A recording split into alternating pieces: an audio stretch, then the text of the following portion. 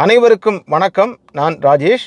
இன்றைக்கு நம்ம கூட Tata Nexon red dark edition automatic car இருக்குது இந்த காரில் க்ரூஸ் கண்ட்ரோல் உண்டு. அப்படி நம்ம ஹைவேல போகும் பொழுது க்ரூஸ் கண்ட்ரோல் வந்து எப்படி ஆப்ரேட் பண்ணணும் அது எப்படி டிரைவிங் ஆகும் அப்படிங்கிற விஷயங்களை எல்லாம் அப்படியே நம்ம நேரடியாக பார்த்துட்டே போகலாம் இப்போ இந்த டாடா நெக்ஸான் ஆட்டோமேட்டிக் காரில் க்ரூஸ் கண்ட்ரோல் எப்படி ஒர்க் ஆகும் அப்படிங்கிறத பார்க்கலாம்.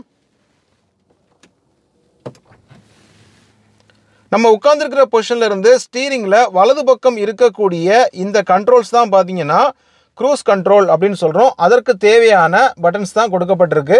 அது என்ன அப்படிங்கிறத பார்க்கலாம். இப்போ பாருங்கள் இந்த சிம்பிளோட இருக்கக்கூடிய இந்த பட்டன் தான் cruise control on off button இது ஆன் பண்ணாதான் மற்றதெல்லாம் வேலை செய்யும். இது தேவையில்லை அப்படின்னா க்ரூஸ் கண்ட்ரோலை ஆஃப் பண்ணி வச்சுக்கலாம்.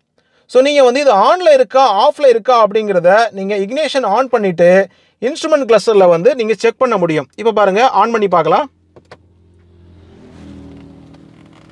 ஒருவேளை உங்களுக்கு க்ரூஸ் கண்ட்ரோல் வந்து ஆஃபில் இருக்குது அப்படின்னா இதில் வந்து க்ரூஸ் ஆஃப் அப்படின்னு வரும். ஸோ இதில் எதுவுமே வரல அப்படிங்கும் பொழுது இது வந்து க்ரூஸ் கண்ட்ரோல் வந்து ஆனில் தான் இருக்குது ஓகே இப்போ பார்த்தீங்கன்னா இது என்னது? அப்படின்னு பார்க்கும் பொழுது நீங்கள் டிரைவிங்கில் போயிட்டுருப்பீங்கல்ல க்ரூஸ் கண்ட்ரோல் ஆன் பண்ணி போயிட்டு பொழுது சடனாக வந்து கேன்சல் பண்ணணும் அப்படின்னு நினச்சிங்கன்னா இந்த பட்டனை ப்ரெஸ் பண்ணிங்கன்னா கேன்சல் ஆகிடும் ஓகே இதெல்லாம் என்னது அப்படின்னு பார்த்தீங்கன்னா இது வந்து ஸ்பீடை வந்து இன்க்ரீஸ் பண்ணக்கூடியது ப்ளஸ் இது வந்து ஸ்பீடை வந்து குறைக்கக்கூடியது. இப்போ நீங்கள் ஆவரேஜாக வந்து ஒரு சிக்ஸ்டி கிலோமீட்டர் ஸ்பீடில் வந்து நீங்கள் போயிட்டுருக்கீங்க. சப்போஸ் வந்து நீங்கள் ஆக்சிலேட்டர் கொடுக்காமலேயே ப்ளஸ் பண்ணணும்னு நினச்சிங்கன்னா ஒரு தடவை ப்ளஸ் பண்ணிங்கன்னா ஒரு மேக்ஸிமம் ஒரு ஃபைவ் கிலோமீட்டர்ஸ் எக்ஸ்ட்ரா போகும். ஒரு சிக்ஸ்டி கிலோமீட்டர் ஸ்பீடுனா ஒரு sixty one sixty two sixty three அப்படின்னு சொல்லி சிக்ஸ்டி ஃபைவ் வரைக்கும் போகும்.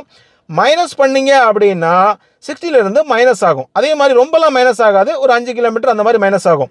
ஸோ நீங்கள் இப்படியே ப்ளஸ் பண்ணிக்கலாம். சிக்ஸ்டி ஃபைவ் டு செவன்ட்டி அந்த மாதிரி நீங்கள் ப்ளஸ் பண்ணிக்கலாம். இதுக்கு தான் பார்த்தீங்கன்னா ப்ளஸ் மைனஸ் கொடுத்துருக்காங்க. அதே சமயத்தில் நீங்கள் வந்து இது ஆன் பண்ணிட்டா அப்படியே வந்து க்ரூஸ் கண்ட்ரோல் ஆன் ஆகிடுமா அப்படின்னு கேட்டால் அப்படி ஆகாது. அதாவது இது ஆனில் இருக்கும் பொழுது நீங்கள் வந்து ஒரு சர்டன் ஸ்பீடில் உதாரணத்துக்கு பார்த்தீங்கன்னா ஒரு அறுபது கிலோமீட்டர் ஸ்பீடில் போயிட்டுருக்கீங்க. க்ரூஸ் கண்ட்ரோல் ஆன் பண்ண நினச்சிங்கன்னா நீங்கள் அப்படியே இதை ப்ரெஸ் பண்ணணும். நல்லா பார்த்துக்கோங்க இதை ப்ரெஸ் பண்ணால் தான் க்ரூஸ் கண்ட்ரோல் ஆன் ஆகும். ஆன் ஆகி அப்படியே போய்கிட்டே இருக்கும். இப்போ சிக்ஸ்டினா சிக்ஸ்டியே போயிட்டு இருக்கும் நீங்கள் ஆக்சிலேட்டரே கொடுக்க வேண்டாம். ஸ்டேரிங் மட்டும் நீங்கள் கையில் வச்சுக்கிட்டா போதும்.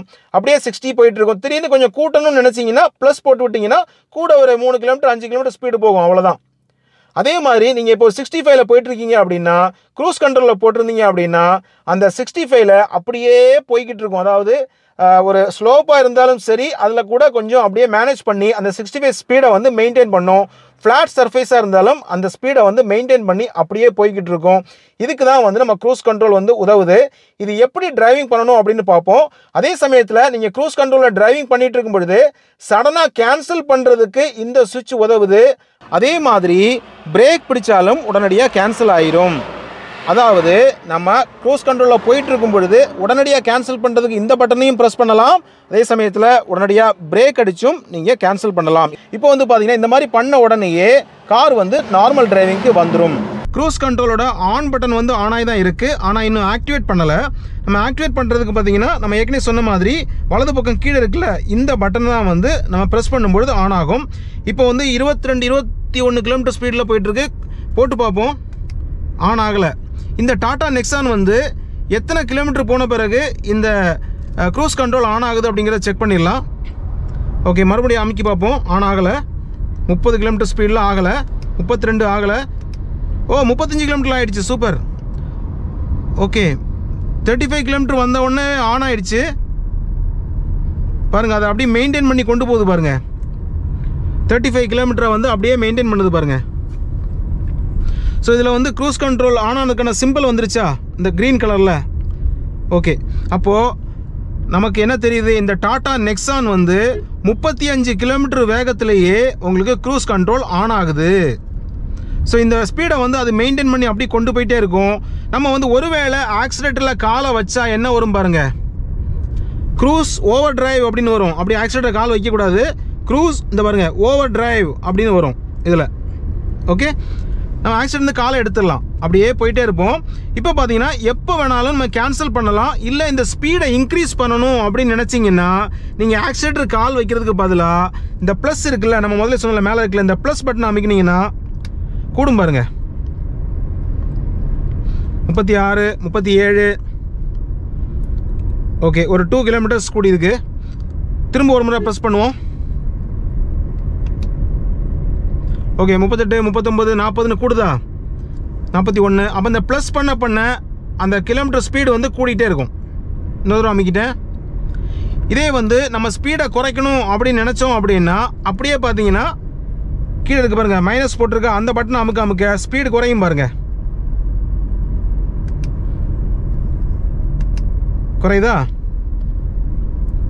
ஓகே. இப்படி தான் இந்த க்ரூஸ் கண்ட்ரோல் வேலை செய்யும். இதை எப்போ கேன்சல் பண்ணாலும் நம்ம ஏற்கனவே சொன்ன மாதிரி இந்த பட்டன் இருக்கு இல்லையா அந்த கேன்சல் பட்டனை கொடுத்து கேன்சல் கொடுக்கலாம் அல்லது பிரேக் பிடிச்சா கேன்சல் ஆகும். இப்போ நான் வந்து பிரேக் பிடிக்கிறேன். லைட்டாக பிரேக்கை டச் பண்ணிட்டு விட்டால் போதும். கேன்சல் ஆகிட்டா க்ரூஸ் கேன்சல்டு அப்படின்னு வந்துருச்சு. இப்போ வந்து நம்ம நார்மலாக ட்ரைவ் பண்ணலாம். ட்ரைவ் பண்ணிவிட்டு அப்போ நல்லா தெரியுது முப்பத்தஞ்சு கிலோமீட்டருக்கு மேலே நம்ம எப்போ வேணாலும் இதை வந்து க்ரூஸ் கண்ட்ரோலை ஆக்டிவேட் பண்ணலாம். இப்போ நான் வந்து உதாரணத்துக்கு கொஞ்சம் ஸ்பீடு போயிட்டு நான் ஆக்டிவேட் பண்ணுறேனே இப்போ வந்து நான் ஒரு 55 கிலோமீட்டர் ஸ்பீடில் போயிட்டுருக்கேன். இப்போ வந்து க்ரூஸ் கண்ட்ரோல் ஆக்டிவேட் பண்ணுறேன் ஆக்டிவேட் ஆகிடுச்சு அவ்வளோதான் ஆக்சிடென்ட் இருந்து காலை எடுத்துட்டேன். இப்போ இந்த 55 கிலோமீட்டர் ஸ்பீடு அப்படியே மெயின்டைன் பண்ணி போயிட்டே இருக்கும் அது. ஸோ இது வந்து ஒரு லாங் டிரைவ் போகிறீங்க அப்படின்னா உங்களுக்கு வந்து ஆக்சிடெண்ட்டில் ஒரே மாதிரி கால் வச்சுக்கிட்டே இருக்கணும் அவசியம் இல்லை. ரோடு கொஞ்சம் ஃப்ரீயாக இருக்குது அப்படின்னு நீங்கள் நினச்சிங்கன்னா ஒரு ஸ்பீடில் வந்து அப்படியே மெயின்டைன் பண்ணி போகிறதுக்கு இந்த க்ரூஸ் கண்ட்ரோல் உதவும். ப்ளஸ் நல்ல ஒரு மைலேஜும் கிடைக்கும் அப்படிங்கிறது உண்மை. இப்போ நான் கேன்சல் பண்ணணும் அப்படின்னு நினைக்கும் பொழுது ஒன்று பிரேக் பிடிச்சு கேன்சல் பண்ணலாம். இல்லை அப்படின்னா இப்போ கேன்சல் பட்டனை ப்ரெஸ் பண்ணி கேன்சல் பண்ணலாம். ஓகே அவ்வளோதான் க்ரூஸ் கேன்சல் அப்படின்னு வந்துட்டு இப்போ மறுபடியும் வந்து நார்மலாக நான் ட்ரைவ் பண்ணுறேன் ஆக்சிடென்ட் கொடுத்து ட்ரைவ் பண்ணுறேன்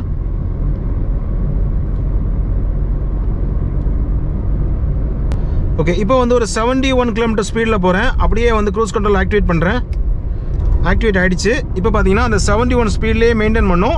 சப்போஸ் நம்ம பிரேக் அடித்தோம்னா கேன்சல் ஆகும். சடனாக ஒரு இடத்துல வந்து நம்ம ஸ்லோ பண்ண வேண்டியிருக்கு அப்படின்னா லைட்டாக நம்ம பிரேக் காலை வச்சாலே போதும் அது கேன்சல் ஆகிடும் இப்போ 71 ஒன்லேயே போகுது பாருங்கள் அப்படியே மெயின்டைன் பண்ணி போகுது பாருங்கள்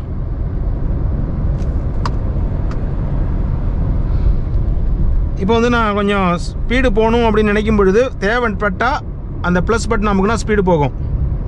ப்ளஸ் அமைக்கிட்டேன். ஸ்பீடு கொடுத்து பாருங்கள்